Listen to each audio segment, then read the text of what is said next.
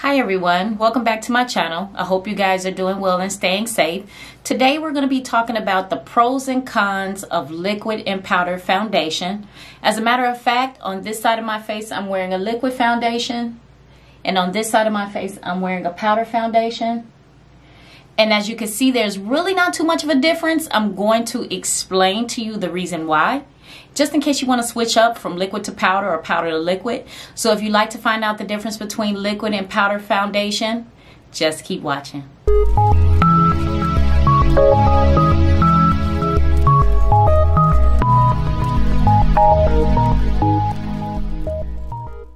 So first things first, let me give you a little bit of history on me and foundations. I have been wearing powder foundation for 20 something years.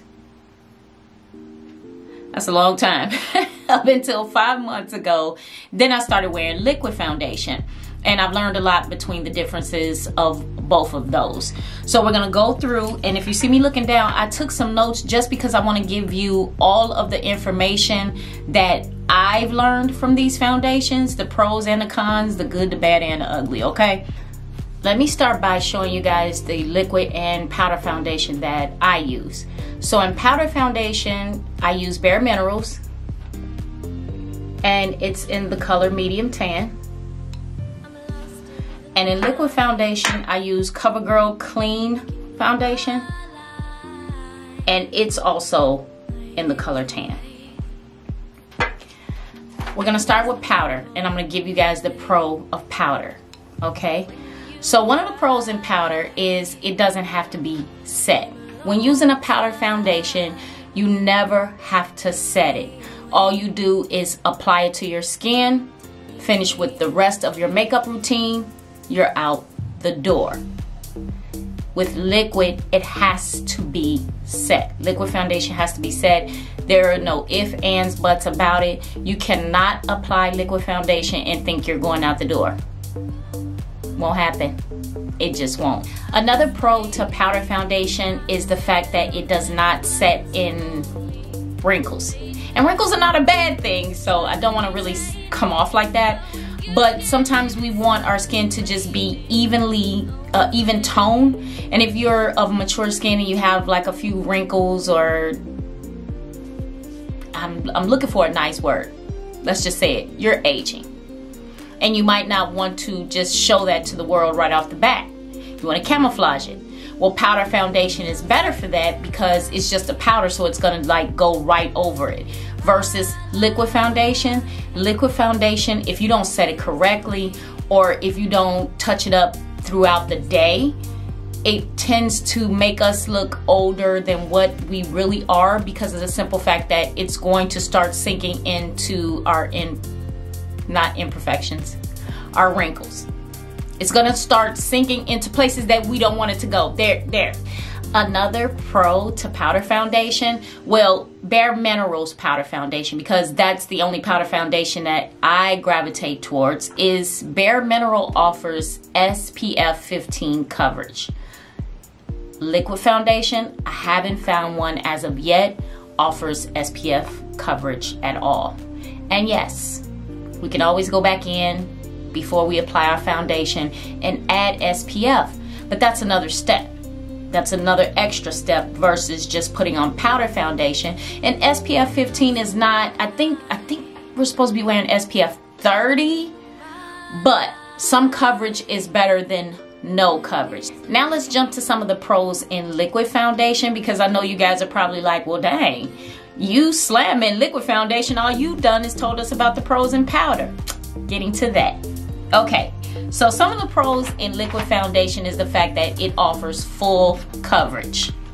I myself, whether it's liquid foundation or powder foundation, I have never wanted full coverage all I look for in a foundation is just to even out my skin tone and give me a, a little hint of color.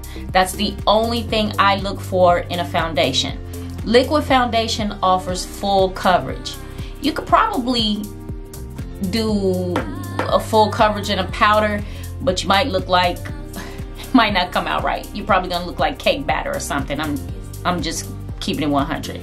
With liquid foundation, it offers full coverage. If it's a blemish that you want to cover up, if it's a dark mark you want to cover up, if it's anything that you want to cover up, liquid foundation does offer that coverage so you can get rid of it. You can camouflage it very well.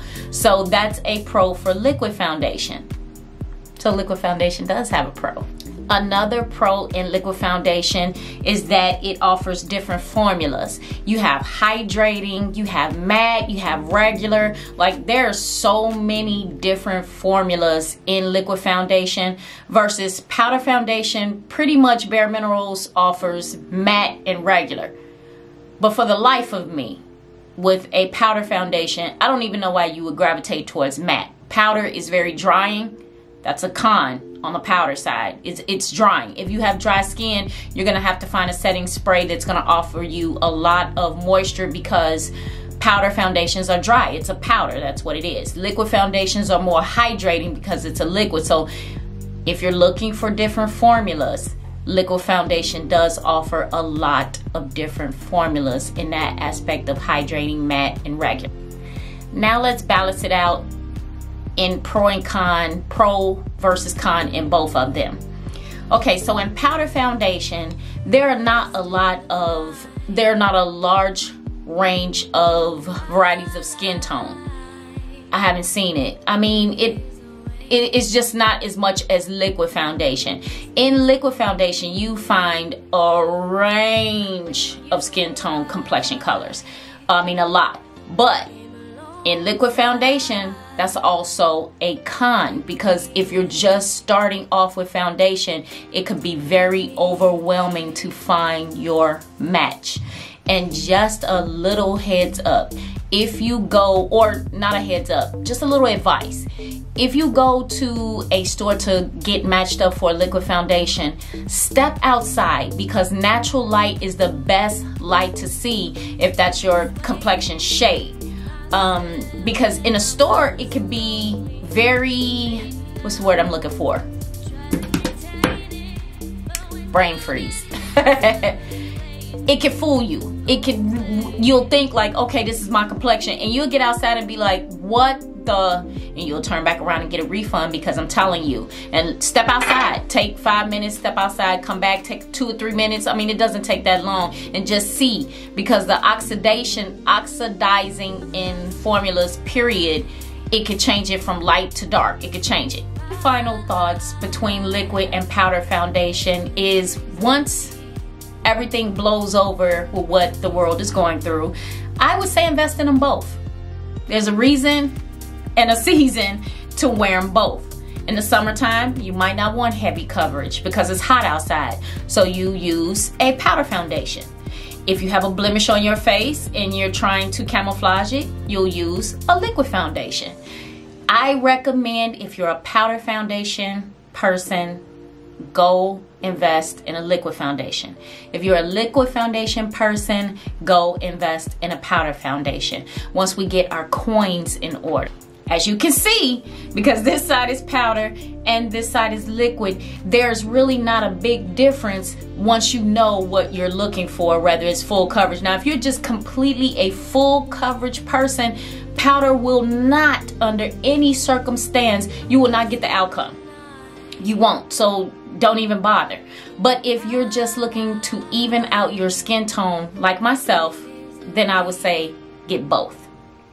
I hope this tutorial gave you guys the information that you need maybe to clear up the difference between powder and liquid so you can decide which foundation is right for you. Until next time guys, please stay safe. I'm sending you lots of love. Thanks for watching. Bye.